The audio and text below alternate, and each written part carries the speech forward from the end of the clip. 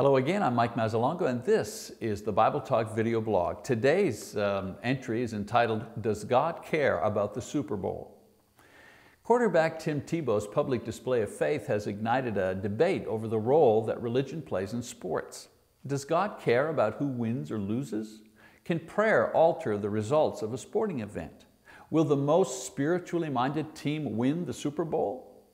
Now in all fairness to Mr. Tebow, he has said that he prays not for victory, but for direction in life and the ability to make good choices.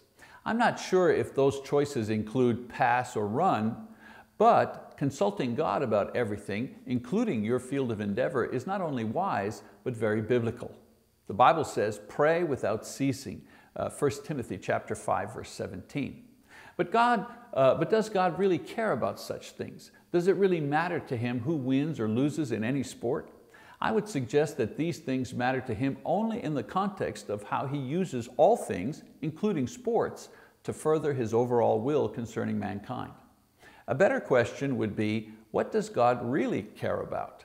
The answer to this question is stated quite clearly by the Apostle Paul in 1 Timothy chapter 2, verse 4. He says, this is good and acceptable in the sight of our God, our Savior, who desires all men to be saved and to come to the knowledge of the truth.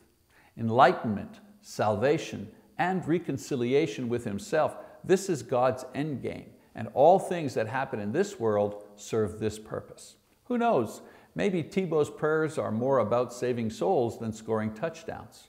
Well, that's it for today. I'm Mike Mazzalongo, and you've been watching the Bible Talk video blog. See you again next time. Bye-bye.